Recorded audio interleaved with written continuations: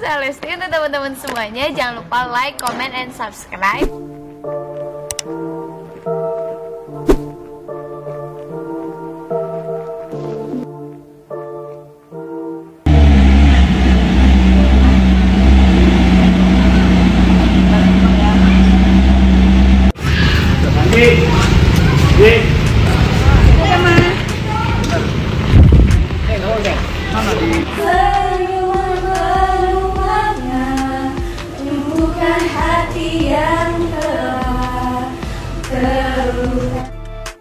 Kemesraan Lesti dan Bilar sudah tak dapat diragukan lagi.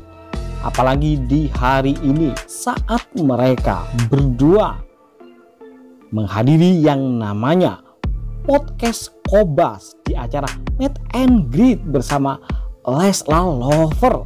Nyatanya mereka tak hanya membuat para fan terpesona dan terberanga auto baper tetapi Basuki sendiri dibuat baper karena kemesraan super cute mereka berdua guys ya sedari awal mulai dari mereka berangkat dengan mobil sport yang dibeli oleh Rizky Bilar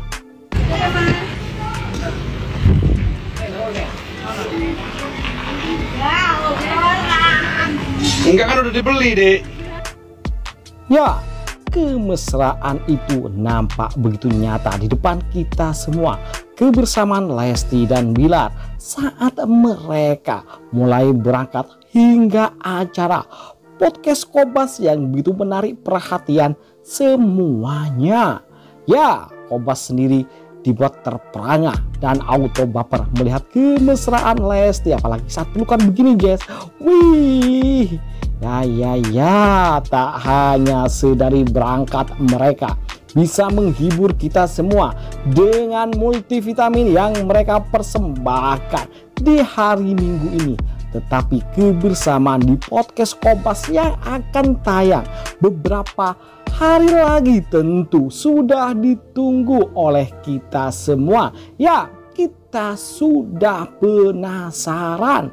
Mulai Rizky Bilar membeli mobil sport hingga akhirnya ia menjemput sang doi.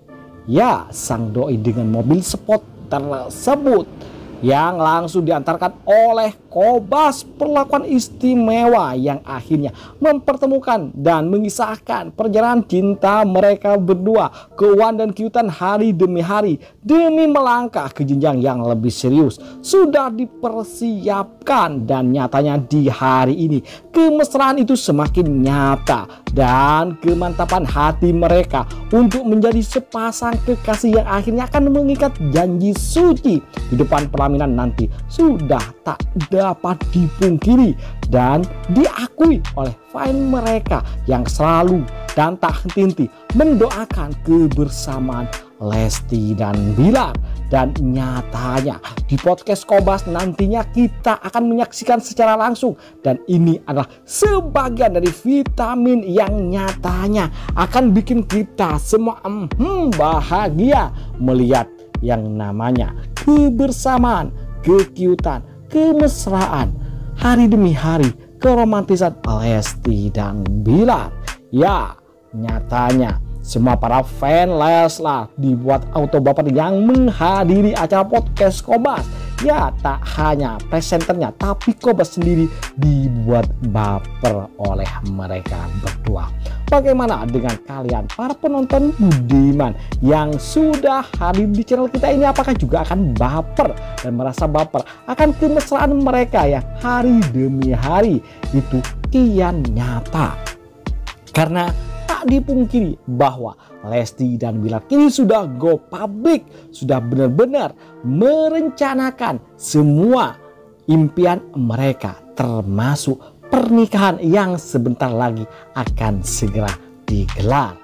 Ya, walau mereka tak mengumbar kapan waktunya, tetapi secara jelas bahwa Lesti dan Bilar mengatakan dan menyatakan bahwa mereka berdua sudah siap melangkah ke jenjang yang lebih serius.